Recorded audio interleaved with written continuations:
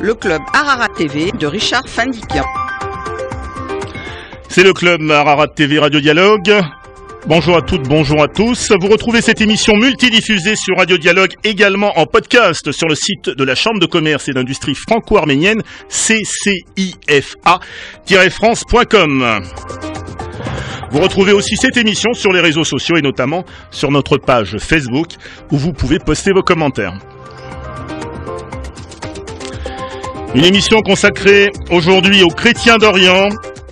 Une émission que nous allons dédier d'ailleurs à Madame Ofsana Kaloustian qui vient de nous quitter à l'âge de 106 ans. Doyenne des Arméniens de France, elle symbolisait à la fois la mémoire des rescapés de 1915 dont elle était le dernier témoin mais aussi le combat que constitue la reconnaissance du génocide arménien par la Turquie. Nos invités Valérie Boyer, députée des Bouches-du-Rhône, maire des 11 et 12e arrondissements de Marseille et vice-présidente du groupe d'études parlementaires sur les chrétiens d'Orient. Valérie Boyer, bonjour. Bonjour. Avec nous également en studio Monsieur Imad Boled François de l'église Notre-Dame de Chaldée qui rentre d'Erbil où il s'est rendu dans le cadre d'une mission afin d'obtenir des informations sur la petite Christina enlevée à ses parents par des djihadistes. La petite Christina a 3 ans. Il nous parlera de cette affaire dans quelques instants. Avec nous également en duplex dans cette émission, maître Sévac Torossian, avocat au barreau de Paris, auteur de l'ouvrage intitulé Vous n'existez pas, négationnisme et mensonge d'État, publié chez l'Armatan. Maître Torossian, bonjour. Bonjour. Euh, vous êtes également, Maître Torossian, membre du comité scientifique de l'Institut du droit pénal et président de la commission pénale nationale des avocats conseil d'entreprise. Alors vous restez avec nous, hein, vous pouvez intervenir dans cette émission quand vous le souhaitez. Avec plaisir. Alors nous commençons tout d'abord avec un son, un petit flashback. Rendons-nous tout de suite à l'Assemblée nationale. Cela se passait le 23 juillet dernier. La parole est à Madame Valérie Boyer. Monsieur le, Monsieur le ministre, j'associe à ma question les membres du groupe d'études sur les chrétiens d'Orient. En effet, les persécutions des chrétiens d'Orient se poursuivent en Irak comme en Syrie et s'amplifient de façon alarmante.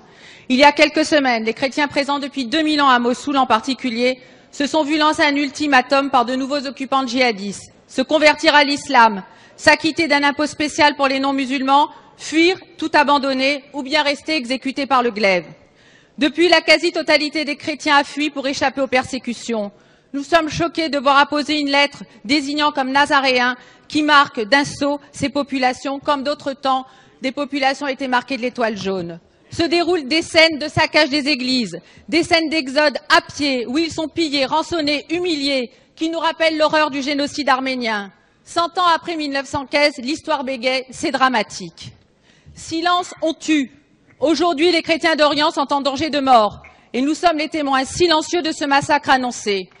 L'évangile selon saint Luc disait S'ils se taisent, les pierres crieront, mais il sera trop tard.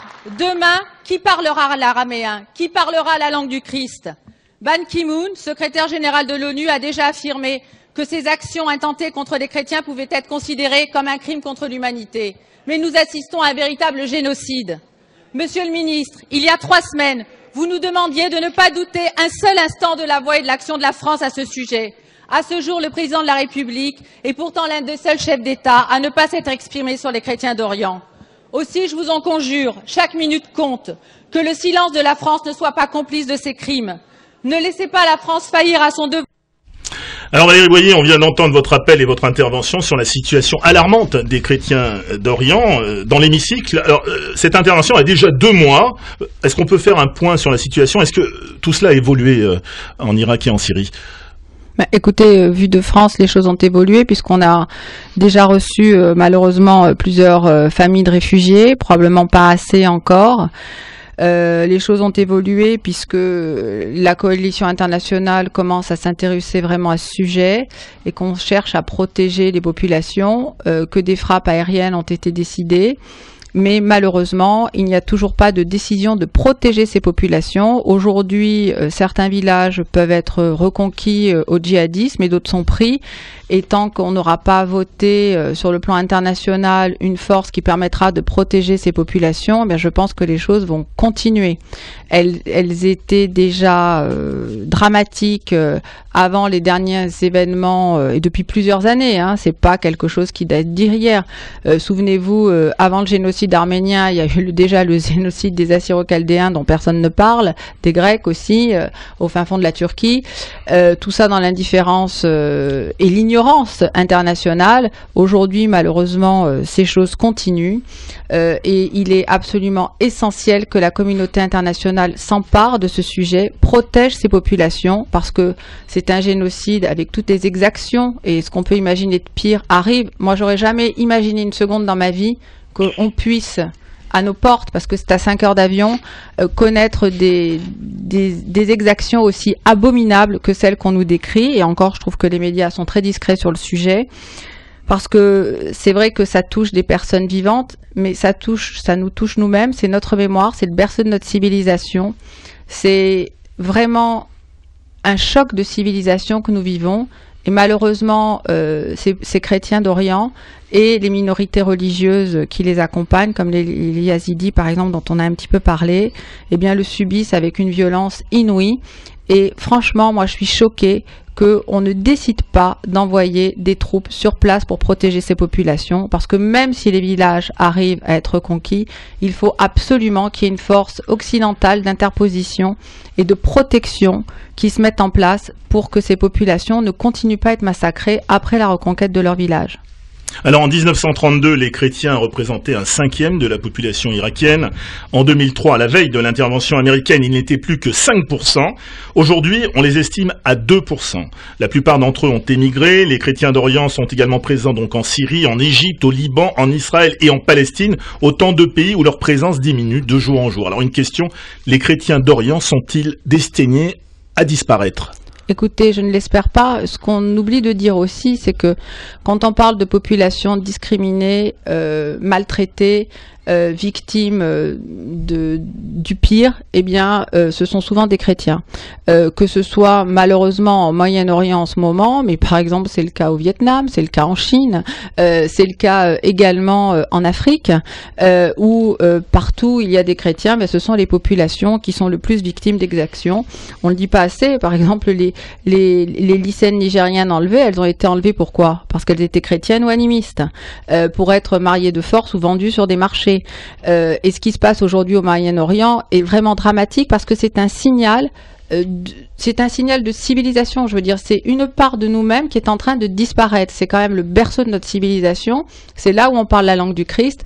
Ces personnes étaient là euh, depuis euh, avant le christianisme, et ce sont ces populations-là qui sont chassées de chez elles par des barbares, par des barbares infâmes, qui ont été armés d'ailleurs euh, par des personnes qui sont parfois nos alliés par ailleurs. Donc aujourd'hui, il est temps que ça cesse.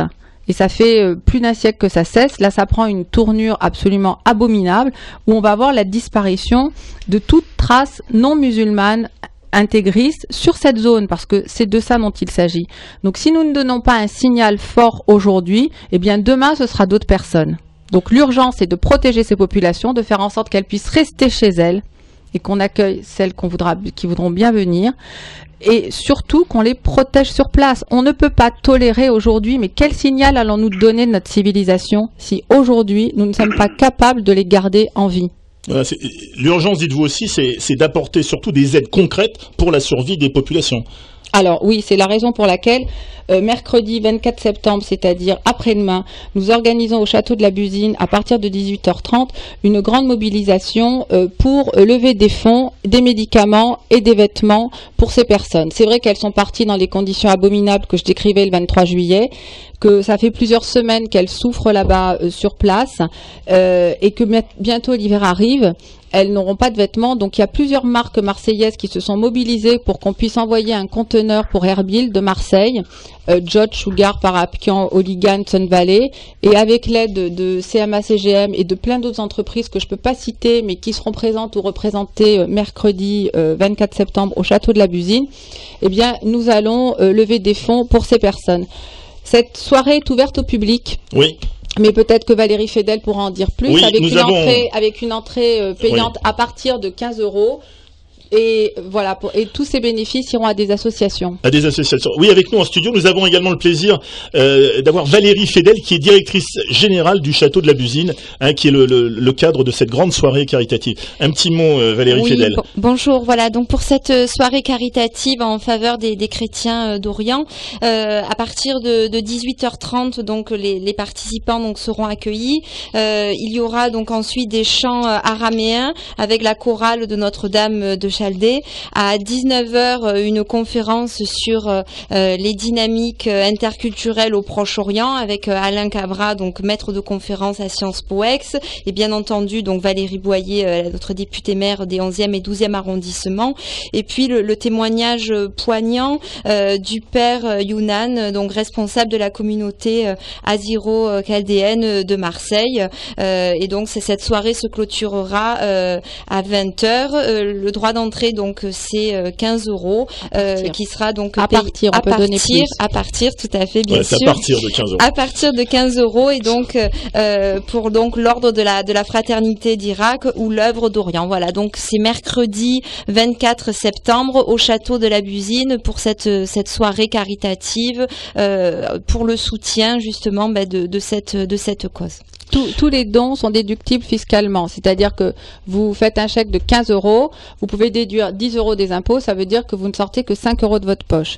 Donc je pense que c'est vraiment euh, quelque chose d'important parce que nous achetons des médicaments, nous achetons des vêtements, nous allons les acheminer et euh, les dons seront vraiment euh, utilisés pour les réfugiés d'Erbil.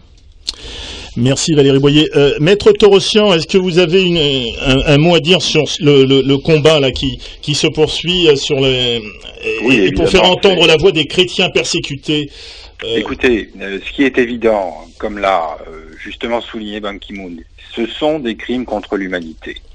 C'est dingue comme l'histoire se répète en l'état actuel du droit qui est absolument insuffisant. Nous n'avons pas de- d'instrument de, prévention des crimes contre l'humanité. Voilà le problème. Il y a une convention, la convention 48, qui, euh, on la connaît bien euh, chez nous. On la connaît bien, c'est la, la- la convention de prévention et de répression des crimes contre l'humanité. Alors, répression, on sait ce que c'est. Le crime contre l'humanité, c'est donc un crime exceptionnel qui est puni par telle sanction et qui est jugé. Donc là, on sait ce qu'est euh, la répression. Mais la prévention, qu'est-ce que c'est? Euh, On a essayé, il y a quelques exemples extrêmement euh, li- limités dans, dans l'histoire récente, celle du Timor oriental où on avait réussi à, à imposer euh, des troupes et éviter le pire, mais ça reste, je crois, l'un des exemples isolés. Ça, c'est l'un des problèmes, c'est que les instruments sont inexistants aujourd'hui pour cette prévention. Deuxièmement, j'ai entendu, et je suis absolument d'accord avec Valérie Boyer, j'ai entendu le mot civilisation. Euh, il y a un auteur américain, vous savez, euh, le professeur Samuel Huntington, qui avait écrit Le choc des civilisations il y a, des il y a quelques années, Oui.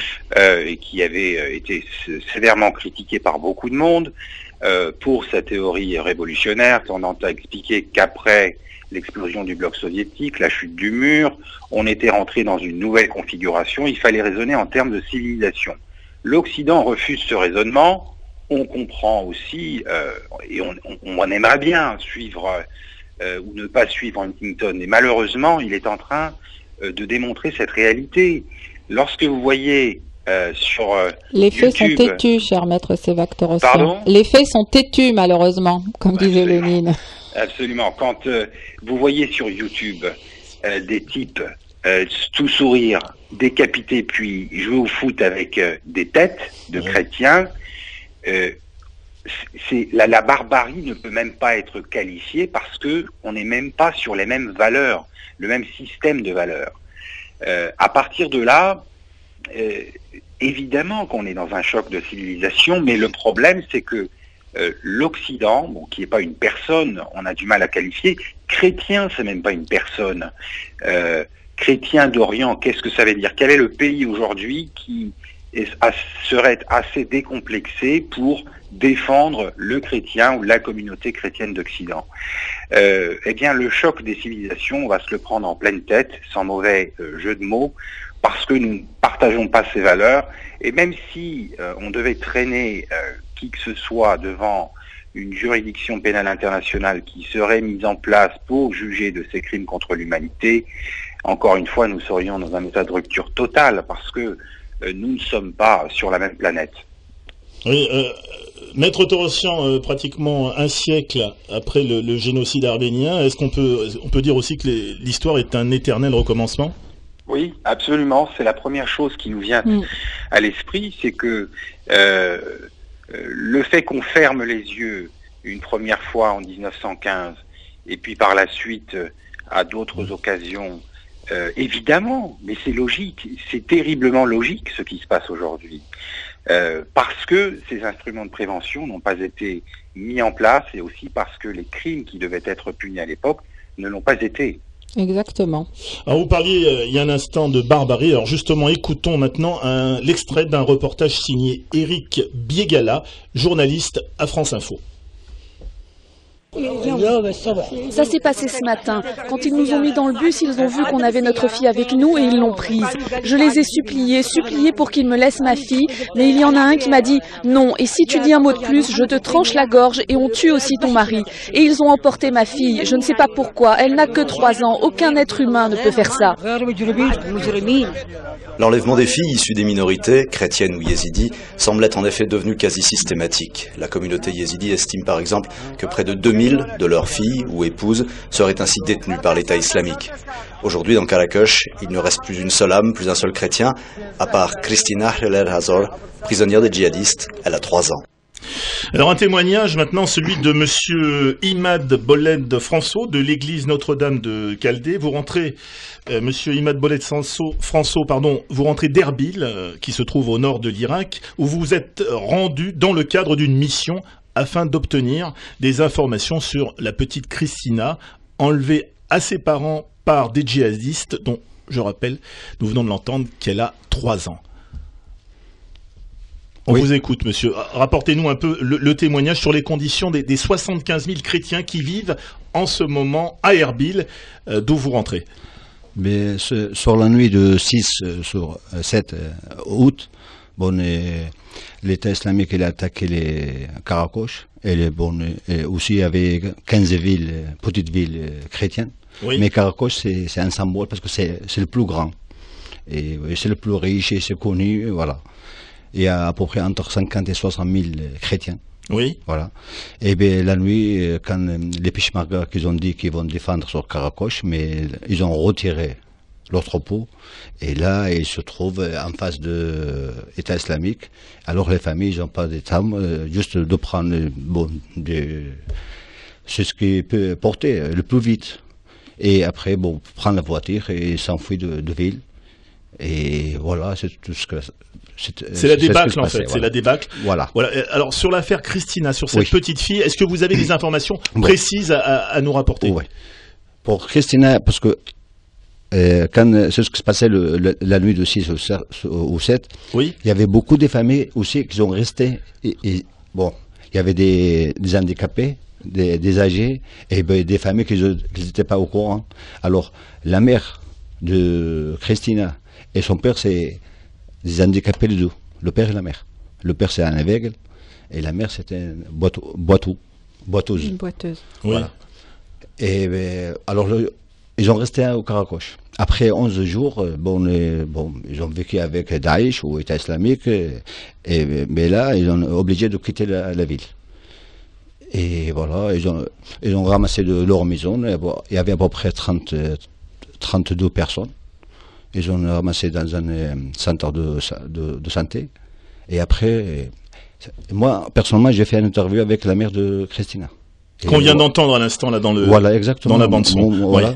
Et elle m'a dit la même chose que euh, quand ils ont monté dans la voiture pour euh, pour partir, et eh bien il y avait quelqu'un qui l'a monté dans, dans le bus et il a arraché au bras de sa mère. arraché voilà, de, voilà entre les bras de, de, sa mère. Et sa mère, elle a essayé il a pleuré, il a descendu d'autobus, mais ou d'autocar. Mais euh, le monsieur, il a dit, il a répondu, si vous parlez, je vais tout corriger. Alors euh, son mari, il a appelé après, il a dit, bon, on ne peut rien faire. Et bien voilà, c'est ce qui se passait, c'est tout ce qu'il m'a dit. Voilà. Et bon. Et jusqu'à maintenant, aujourd'hui, il y a à peu près 60 chrétiens 60 personnes hein, au Caracoche. Mais on ne sait pas, on ne sait pas comment y vivre, comment y faire. Et j'ai fait aussi une interview avec les gens qui ont euh, revenu de Caracoche, parce qu'il Oui. y avait euh, 14 personnes qui ont euh, vécu avec l'État islamique euh, euh, 22 jours. Mais franchement, ils parlent des choses. euh, euh, déjà, où ils sont dans un état choqué. Euh, c'est des personnes, euh, franchement, ils ont besoin de psychologues. On le voit quand on parle. euh, Ils sont traumatisés par trop, le- mais- absolument. même trop, voilà. voilà. Bien, merci en tous les cas pour, pour ce témoignage. Je rappelle que vous rentrez d'Erbil. Euh, Valérie Boyer, ça vous inspire quelle réflexion? On est au, sommet de la barbarie? On est au sommet de la barbarie. Bon, une fois qu'on a dit ça, euh, à part euh, vous et moi, nous ne sommes pas militaires, nous ne sommes pas soldats. Et malheureusement, à part demander une force d'interposition et des personnes physiques sur place pour protéger ces chrétiens et ces minorités, dont on voit qu'elles sont confrontées au pire de ce qu'on peut imaginer, et encore, quand on nous rapporte des exactions, c'est au-delà de ce qu'on peut imaginer, parce que vous imaginez bien que les petites jeunes filles yazidis qui ont été enlevées, c'est pas pour qu'elles aillent à l'école. Donc, euh, ce qui leur arrive est absolument épouvantable, et quand on pense que leurs tortionnaires les obligent à téléphoner à leurs parents pour leur raconter euh, tout ce qu'elles subissent, on voit jusqu'où va la guerre psychologique et l'horreur. Fort de tout ça, euh, bon, moi j'ai pas mal réfléchi et je me suis dit euh, qu'est-ce qu'on peut faire? D'abord, ici, ce qu'on peut faire, ben, c'est aider les familles de réfugiés euh, lorsqu'elles vont arriver en France.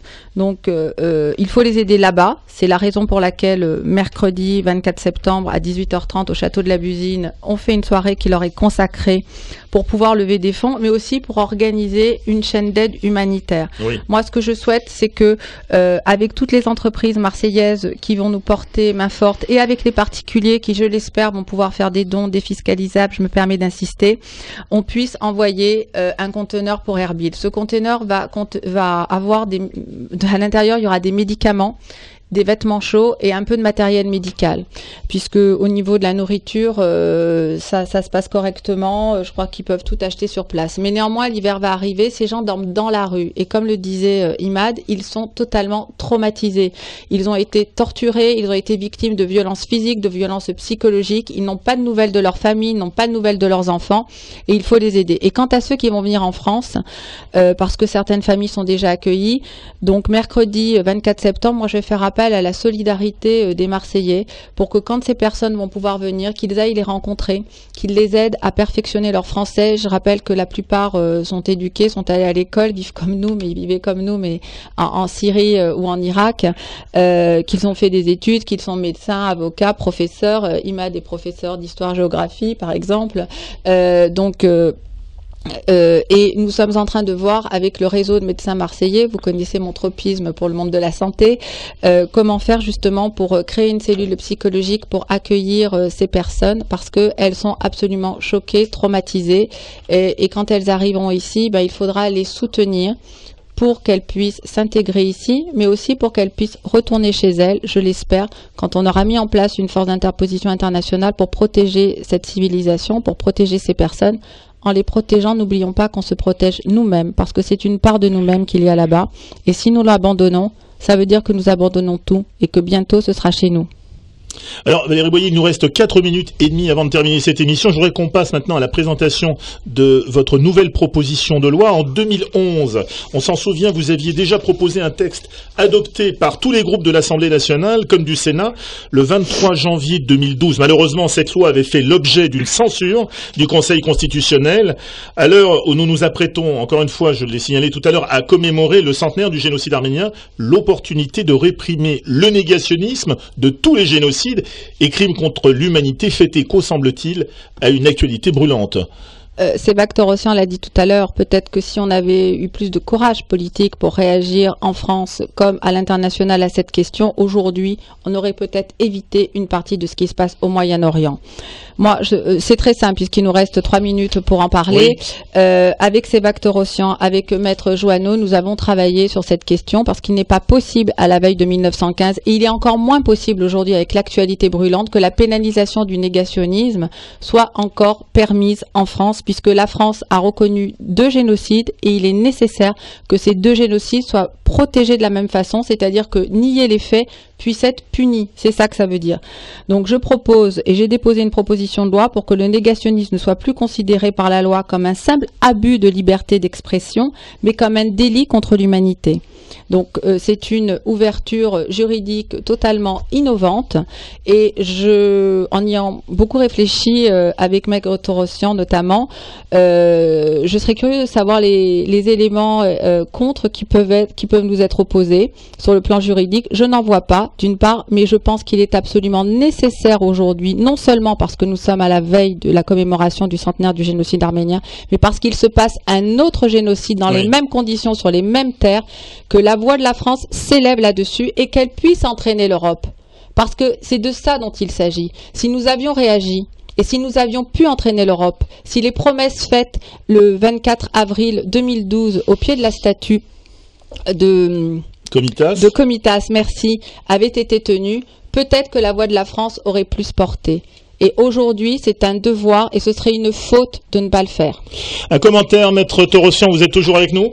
Oui, absolument. Bah, écoutez, merci. Il nous reste deux minutes. hein. Oui, d'accord, je vais faire euh, extrêmement court. D'abord, merci Valérie Boyer de me- m'attribuer une partie de la paternité de ce texte. C'est pas tout à fait euh, euh, comme ça. C'est à vous qu'on le doit. Moi, c'est une idée effectivement que Pas je défends depuis euh, depuis quelques années. Euh, le fait de transférer le siège de la loi, qui pour l'instant est un problème de liberté d'expression hein, pour le droit français. C'est le fait de contester, euh, dire ou de ne pas dire. Depuis des années, euh, je m'égosille à expliquer que ce n'est pas un problème de dire ou de ne pas dire, c'est un problème de dissimulation de crime. Et euh, je crois que c'est surtout euh, avec Bernard Joanneau que euh, vous avez réussi à mettre euh, un, un texte en, en place qui me paraît euh, tout simplement révolutionnaire, révolutionnaire euh, dans le sens de la théorie du droit, parce que euh, il va voir s'il est adopté, s'il est voté, imaginé, euh, validé. Euh, c'est un texte qui revient à sa place. Parce que vous avez réussi à expliquer qu'il s'agit d'un accessoire du crime de génocide, ni plus ni moins. C'est un problème de dissimulation. Ce n'est pas un problème de dire ou de ne pas dire. Alors, ben, écoutez, on va voir. Moi, je suis persuadé depuis plusieurs années que c'est ça qu'il faut faire. Euh, maintenant, euh, nous allons voir. Maintenant, son la balle est dans le camp politique et j'espère qu'on va s'emparer de cette balle à l'Assemblée nationale comme à l'Élysée. Merci, euh, Sévac. Je rappelle que vous êtes l'auteur de l'ouvrage intitulé Vous n'existez pas, négationnisme et mensonge d'État et c'est publié chez l'Armatan. J'espère que vous viendrez, Maître Torossian, le dédicacer à Marseille le 25 avril prochain Ah lors oui. de la prochaine édition du, du Festival national du livre franco-arménien qui se déroulera, je, je vous le signale dès maintenant, dans le cadre du Palais de la Bourse sur la Canebière à Marseille. Euh, vous serez avec nous, Maître Torossian Rendez-vous 25 mercredi avril. 24. le 25 avril, à- à- à- le lendemain des, des commémorations. Alors là, c'est pas le 24 avril, mais là, c'est à tous les auditeurs. Je pense que Monsieur Banegas va pouvoir programmer cette émission d'ici là. Mercredi, donc 24 septembre. Rendez-vous tous à 18h30 au château de la Busine hein, pour soutenir cette soirée caritative en faveur des chrétiens d'Orient organisée par Valérie Boyer et merci également au château de la Musine de- d'accueillir cette soirée. Merci à vous tous, c'est la fin du club Ararat TV Radio Dialogue. Merci à vous trois d'avoir participé à cette émission. On se retrouve donc la semaine prochaine. À très vite.